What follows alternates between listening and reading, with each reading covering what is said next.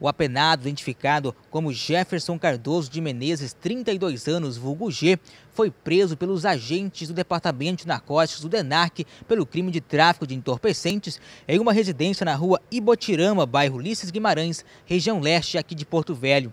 Os policiais civis começaram a investigar o suspeito após receberem várias denúncias anônimas de que o elemento estaria comercializando drogas naquela região. Durante a abordagem, Jefferson é, arremessou um recipiente na casa do vizinho ao lado.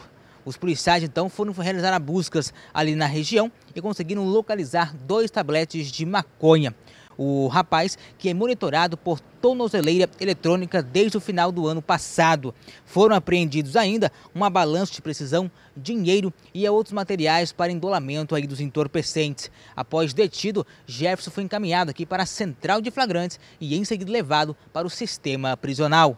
As imagens são de Osinaldo Alencar, John Silva para o plantão de polícia, o retrato da realidade Serra Tox.